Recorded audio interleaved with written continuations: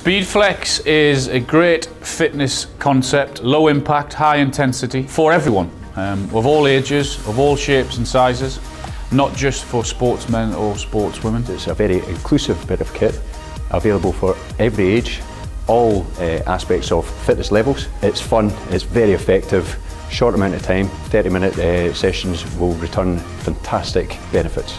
It's a great workout. Uh, you will have no stiffness at all uh, after the workout, whether that's 12 hours or 24 hours after the session. Great buzz in the uh, in the sessions, whether it's for 20 minutes, half an hour, or 45 minutes. I use it three or four times a week and have done for four or five years because I have bad knees and ankles and, and a bad back. Um, and if I was to go on a run machine or go out for a run, then the next day I'd be in absolute agony.